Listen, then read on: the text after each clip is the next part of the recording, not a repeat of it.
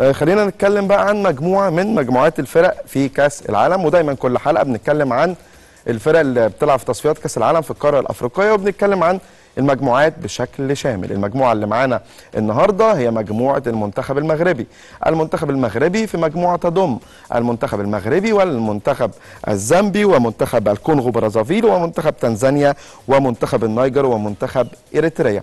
يعني المنتخب المغربي هو الأقوى في المجموعة دي لكن هيلاقي منافسة من جانب المنتخب الزامبي. لكن كلنا نتمنى أن المنتخب المغربي هو اللي يتأهل من المجموعة دي خصوصا بعد الإنجاز أو النتائج الإيجابية اللي حققوها في كأس العالم في قطر مع وليد ركراكي عاوز أقول لكم أن المنتخب الزامبي واحد من المنتخبات مش سهلة. منتخب عنده إمكانيات كبيرة وعنده لعيبة مميزة.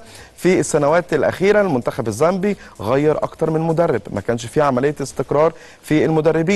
كان عنده مدرب تشيمباشي كان عنده نيناردا كان عنده كمان ميتشو ميتشو سيردوفيتش. وما ننساش سيفن فاندن بروك واحد برضو من المدربين اللي تولوا الإدارة الفنية لمنتخب زامبيا. سيفن فاندن بروك مدرب الوداد السابق اللي لعب نهائي دوري أبطال أفريقيا أمام النادي الأهلي. اللي أمامنا على الشاشة منتخب زامبيا واللعيبة الكبار بقى جدا. الأول ما كناش بنشوف منتخب زامبيا لعيبة بتلعب في أندية كبيرة. النهارده بنشوف آه يعني باتسون داكا متواجد في ليستر سيتي.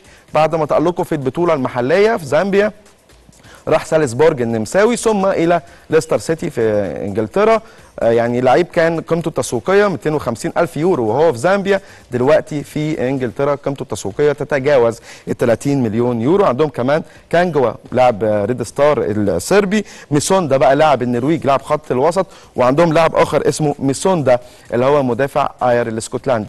إفرام جرانت هو من يتولى الإدارة الفنية حاليا للمنتخب الزامبي والصراحة ماشي معاهم بشكل جيد جدا. وشفناهم في التصفيات المؤهلة لبطولة الأمم الأفريقية بيلعب فريق بحجم كوتيفوار ويعمل لقاء كبير جدا أمام الكوتيفوار ويغلب كوتيفوار 3-0 فدي حاجة تحسب لكرة القدم.